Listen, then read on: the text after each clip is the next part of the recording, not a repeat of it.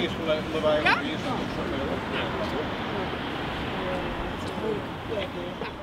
Ik heb van de gemeente na het project Schitterend Almelo rond Sibyl bijvoorbeeld, heb ik ehm, van de gemeente toestemming gekregen om een jaar lang te proberen dat die, te bewijzen dat die minitorentjes ook een bestaansrecht hebben. En ik heb dat zo proberen te doen dat de kunstenaar die exposeert in het kunsttorentje ook werk laat zien eh, in de mini-torentjes. Dat zijn soms uh, probeersels uh, vooruitlopend op wat hier te zien is. Of soms is het ander werk van dezelfde kunstenaar om meer te laten zien waar hij mee bezig is. In het kort um, is het een kunsteducatieproject geweest.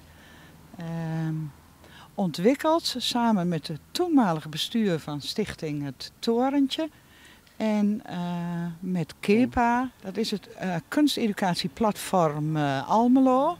En die organiseert kunstactiviteiten voor kinderen. Dus dat ze naar theater gaan, naar de bibliotheek, naar de muziek, creatief centrum. En dat ze daar of dingen zien of dingen doen. En om kunst onder de aandacht te brengen. En de bedoeling was dat kinderen kunst maakten Net zoals je in het torentje daar ziet.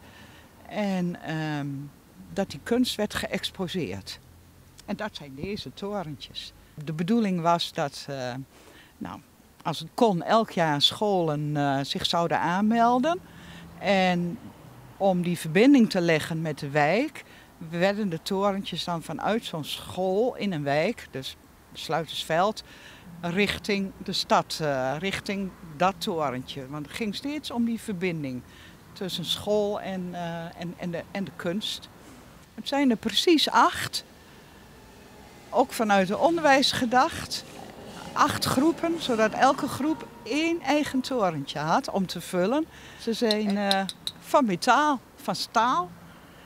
En daarom zijn ze er ook nog altijd. En ik moet zeggen dat ik daar heel blij van werd toen ik ze vorig jaar voor het eerst weer zag. Worpen als uh, zijnde een verlengstuk van dit torentje om te roleren bij basisscholen. En die werden dan gemaakt uh, in, een, in een vormgeving die aansluit bij kinderen. Daarom ziet het er een beetje uit als houten kinderspeelgoed. En die kleur heeft het ook.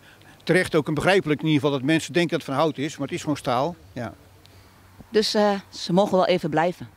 Ik hoop dat ze nog lang kunnen blijven. En ik, eh, als ik, eh, ik, er zijn ook mensen die hebben gereageerd eh, via een, een link die in de krant werd vermeld. kunst.kunsttorentjes.nl over wat zij er nou van vonden. Ik heb alleen maar positieve reacties ontvangen. En mensen die zeggen van ja, het ziet er echt uit alsof ze er altijd al gestaan hebben. En waarom zouden ze weghalen?